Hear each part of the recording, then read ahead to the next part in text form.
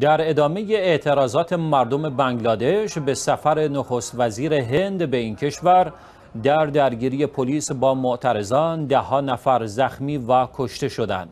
پلیس بنگلادش اعلام کرد صدها نفر روز یکشنبه در ادامه اعتراضات به سفر نخست وزیر هند نارندرا مودی به معابد هندو و یک قطار در شرق بنگلادش حمله کردند. دست کم ده معترض در درگیری با پلیس در جریان تظاهرات سازمان یافته در اعتراض به این سفر کشته شدند و خشونت پس از خروج مودی از کشور در اعتراض به برخورد خشن پلیس تشدید شد معترضان که بیشتر آنها عضو حزب حفاظت الاسلام هستند. مودی را به دامن زدن به خشونت علیه مسلمانان در هند متهم می کنند روز یکشنبه معترضان با راهپیمایی در منطقه ناریانگنج در نزدیکی پایتخت جاده بین داکا و شهر ساحلی چیتاگونگ را مسدود کردند. همچنین صدها نفر از معترضین در خیابانها با آتش زدن لاستیک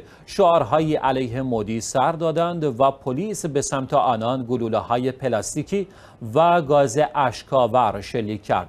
مودی روز جمعه به مناسبت پنجاهمین سالگرد استقلال بنگلادش وارد داکا شد. در اعتراضات روز جمعه چهار نفر بر اثر تیراندازی پلیس کشته شدند.